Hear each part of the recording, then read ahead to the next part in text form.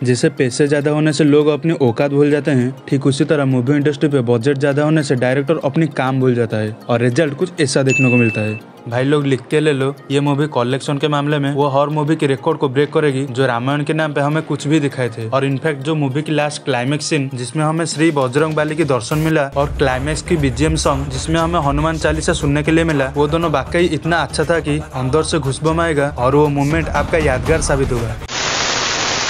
देखो भाई लोग, हम छोटे से ही कार्टून और बी की सुपर हीरो को देख के बड़े हुए हैं। और जब भी कोई सुपर हीरो की बात आती है, हमारा मन हमेशा यही कुछ हीरो को याद करता है। लेकिन जब बात आएगा ये सारे हीरो की फादर की तो हनुमान यही एक नाम होगा जो हमारे कानों में गूंजेगा। फ़िल्म की ट्रेलर को देख के मुझे जो लगा था मूवी की स्टोरी के बारे में, की मूवी का नाम ही सिर्फ़ और सिर्फ़ हनुमान होगा, लेकिन हनुमान जी के रोल मूवी के अंदर कुछ भी नहीं होगा। ऐसा मुझे लग रहा था ट्रेलर को देख के। लेकिन आज जब मैं फाइनली मूवी को वॉच किया, तब मुझे पता चला की मैं कितना ज़्यादा गलत में था, क्यूँकी मूवी में ना तो सिर्फ़ हनुमान है, बल्कि सुग्रीव जी भी देखने को मिलेंगे और मूवी के क्लाइमेक्स पे एक ट्विस्ट भी देखने को मिलेगा, जहाँ हनुमान जी श्री राम को कोई वचन दिए थे, जो शायद इसकी सेकंड पार्ट में हमें देखने को मिल सकता है। अभी अगर बिना किसी वक्त को बर्बाद किए, अभी अगर बात करें मूवी की स्टोरी की तो फ़िल्म की स्टोरी फोकस कर रही है अंजनाद्री नाम की एक गाँव पे रहने वाले एक भोला भोला कैरेक्टर हनुमंत के ऊपर, जहाँ हनुमंत अपने गाँव पे अपनी बहन के साथ रहता होगा और अपने गाँव पे एक सादा सीधा लाइफ जी रहा होगा। लेकिन कुछ दिन के बाद उसका लाइफ में कुछ ऐसा होता है, जिसके वजह से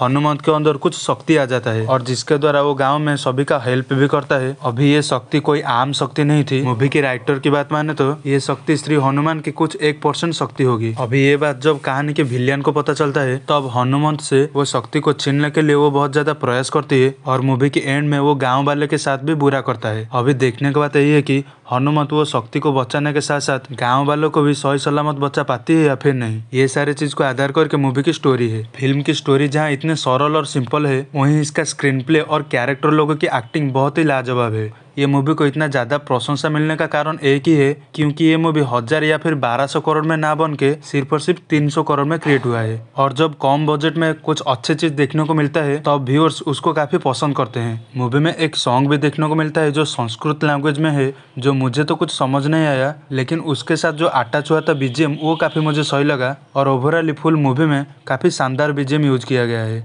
बात करें मूवी की क्लाइमेक्स की तो सुपर हीरो के हाथों विलियन का मरना ये तो आम बात है, लेकिन इस मूवी की क्लाइमेक्स पे हमको एक नहीं, बल्कि दो दो सुपर हीरो देखने को मिलेंगे, एक रियल हनुमान और दूसरी उनकी भक्त हनुमंत। हनुमान मूवी के साथ ही और तीन मूवी क्लास हुई थी, लेकिन सबसे पहले मैं ये मूवी को वॉच किया तो उस वजह से मैं अगर बोलूँ तो ये मूवी को आप लोग ज़रूर देखने के लिए जा सकते हो। तो यही थी कुछ मेरा छोटा सा रिव्यू हनुमान मूवी को लेके। इससे बाद फिर कॉल मिलेंगे कैप्टन मिलर मूवी के रिव्यू के साथ, फिर मिलेंगे इस तरह के और कोई नेक्स्ट वीडियो में, तब तक तो के लिए जय बजरंग वाली